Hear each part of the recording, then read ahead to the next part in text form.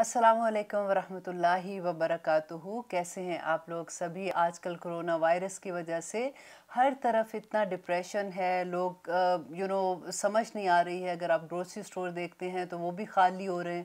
لوگ کوشش کر رہے ہیں کہ زیادہ سے زیادہ سامان گھروں میں جمع کر لیں۔ وی نیور نو کہ کس وقت سپلائی بند ہو جائے گی۔ یا جو بھی ہے طریقہ دیکھیں اللہ سبحانہ تعالیٰ نے یہ دنیا اسباب کے ساتھ پیدا کی ہے نا۔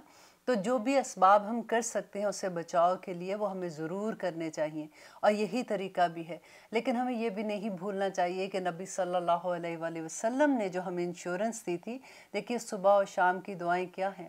نبی صلی اللہ علیہ وآلہ وسلم کی طرف سے انشورنس تھی نا کہ جس میں نبی صلی اللہ علیہ وسلم نے ہمیں بتایا کہ بسم اللہ اللذی لا يضر ما اسمه شیئن فی الارض ولا فی السمائی وہو السمیع العلیم یہ آسمان اور زمین کے درمیان میں کوئی چیز بھی، دیکھیں آسمان اور زمین کے درمیان کیا ہے؟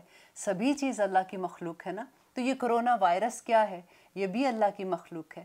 تو ہم اللہ سبحانہ تعالیٰ سے دعا کرتے ہیں کہ یا رب العالمین، آپ کے نام سے میں یہ دعا کرتی ہوں کہ آسمان اور زمین کے درمیان میں جو چیز بھی ہے تیری مخلوق ہے، وہ کسی مجھے نقصان نہیں پہنچا سکتی ہے۔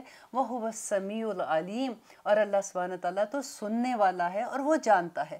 اور نبی صلی اللہ علیہ وسلم نے کہا کہ جو صبح یہ تین دفعہ دعا پڑھتا ہے، وہ رات تک محفوظ رہتا ہے۔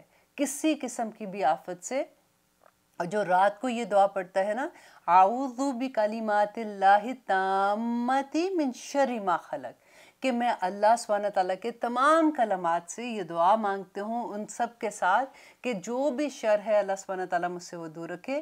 تو نبی صلی اللہ علیہ وسلم نے کہا، جو تین دفعہ رات کو یہ پڑھے گا، وہ پوری رات صبح تک ہر طرح کے شر سے محفوظ رہے گا۔ تو پھر ہمیں ڈرنے کی کیا ضرورت ہے؟ دیکھیے، یہ صبح شام کی دعاؤں میں آپ کو آرام سے مل جائے گی۔ آپ اپنے فون میں ڈال کے دیکھیے کہ صبح شام کی دعا، یہ دونوں اتنی چھوٹی دعائیں ہیں، آپ خود بھی یاد کیجیے۔ جن کو یاد ہے الحمدللہ، ان کو تو یاد ہے، لیکن جن کو نہیں آتی ہیں، وہ ان کو یاد کریں اور اپنے سارے فرینڈز کو بھی یاد کرائیں، اپنے بچوں کو بھی یاد کرائیں۔ یہ اتنی چھوٹی سی دعا ہے۔ اور اگر آپ کبھی کسی کے بارے میں سنتے ہیں کہ ان کو کرونا وائرس ہو گیا یا آپ ٹی وی پہ دیکھتے ہیں، تو سب سے پہلے آپ کیا دعا پڑھیں کہ الحمدللہ الذی آفانی من مبتلاک بھی وفضلنی علی کثیر ممن خلق تفضیلا۔ یہ اتنی خوبصورت دعا ہے کہ یا رب العالمین تمام تعریفیں اللہ کے لیے ہیں، جس نے مجھے اس چیز سے، اس آفت سے دور رکھا جس میں اس نے دوسروں کو مبتلا کیا۔ تو اللہ سبحانہ تعالیٰ سے جب ہم دعائیں کر کے اپنی زندگی کا آغاز کرتے ہیں، اپنے دن کا آغاز کرتے ہیں، تو اللہ ہماری حفاظت کریں گے۔ کیونکہ دیکھیے، ہم انشورنس کتنی مہنگی لیتے ہیں نا۔ گھر کی انشورنس، گاڑی کی انشورنس، زندگی کی انشورنس، کس کس چیز کی انشورنس لیتے ہیں اور پھر بھی تسلی نہیں ہوتی ہے۔ یہ تو نبی صلی اللہ علیہ وسلم نے انشورنس دی ہے کہ ہم یہ دعائیں پڑھیں گے تو اللہ سبحانہ تعالیٰ ہمیں محفوظ رکھے گا۔ انشاءاللہ ہم سبھی ٹھیک رہیں گے۔ آپ بھی دعا کیجیے، میں بھی دعا کرتی ہوں، اپنی دعاؤں میں مجھے یاد رکھیے گا۔ سبحانہ ربی کا رب العزت اما یسفون وسلام العلی المرسلین والحمد للہ رب العالمین۔